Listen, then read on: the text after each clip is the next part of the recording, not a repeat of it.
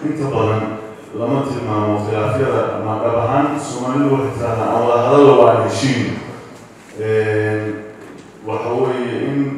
laysu calool xaadnaado oo laysu laab xaadnaado laysku hurgufo oo la wada hadlo markaas daawa timaada marka khilaafyada inta badan oo ama ha noqdeen khilaaf siyaasadeed ama ha noqdo khilaaf deegaan ama ha noqdo khilaaf bulsho ama ha noqdo khilaaf daaqsineed oo miyiga inta badan daaqsinka iyo dhulkaas baa inta badan ay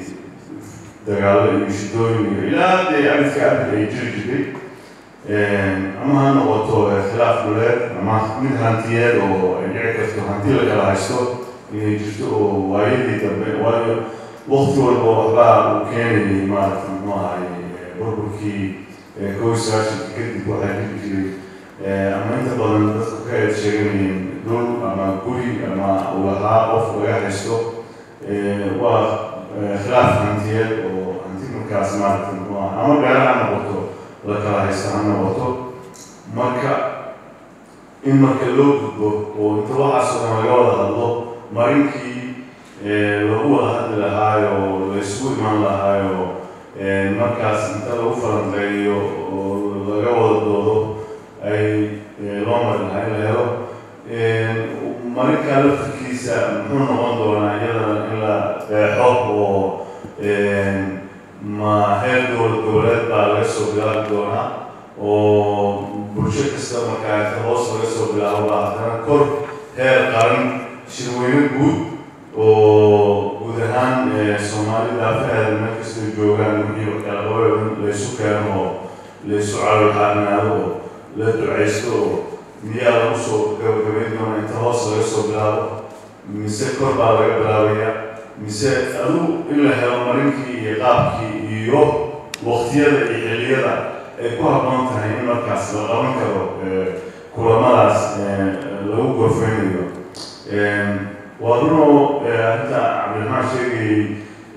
xilli kasta iyo waayihiisa baa isbedelayo waxaa dhici karta inaanay markii laga hadlayay aynu ku jirin qorshayaashii horeeto cimilada oo waxa ugu badan maaragta muxuu ahay marka si waxaasoo dhan looga gudbo waa run waan helo soomaali siyaasad heshiis ah. Soomaali federaal heshiis ah. Soomaali dastuur heshiis ah. Soomaali deegaan heshiis ah. Soomaali dhaqan heshiis ah. Waa ogtahay inaga salka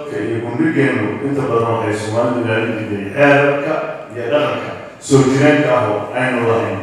Amaba dhaqankaaba wuxuu ahaa waxa xadida oo waxaa inta badan yamantan baynu meelaha qaarkood iska dabeecadaha iskaga soo dhaweyno markii rabiic waxaa la yidhaha qofkii marka reer ah baa ninka tegey wuxuu socdaa muxuu ahay guri kaleeto oo miyiga ah reerkan ba waxay ku darayaan wiil inuu tilmaamo oo geeyo gurigii kaleeto oo maarata uu socday. Inta marka uu wiilkaasi wado waa magan buu yahay wey marka lama taaban karo.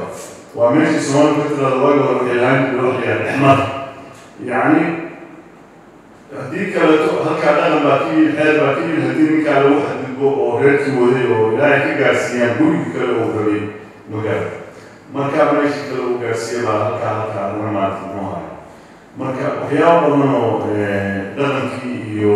soo jireenkii iyo xeerarkii baa waxaa dhici karta in isagana la gafay. Iyagana sidee baa loo qaabeyn karaa oo xeerarkaas maarata muxuu ahay loo gaarsiin karaa? Soomaali khayraadka hantida muxuu ahay khayraadka dabiiciga ah ama batrool ha noqoto ama ahay macaadin ha noqoto ama kalluunba ha noqotee heshiis ah in iyadana maaragta ahay la helo oo khayraadkaas in la helo maaragta waxa weeye waa midda hadda cabdiraxmaan uu sheegayo culimadii khilaafkaa soo galay innaga inta badan waxaynu nahay dad islaama oo sunni ah dad islaama oo subshiica kuma jiro madaahibta kaleeto oo xakiiska kuma jira dad islaama oo sunniya laakiin waxaa moodaa inay isbedelaso marka waa in la helaa iyadana aqoon diineed oo heshiis lagu yahay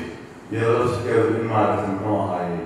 maadaama dad islaama oo boqol boqol islaama marka aad baan u soo dhaweynayaa in marka dib u eegis lagu sameeyo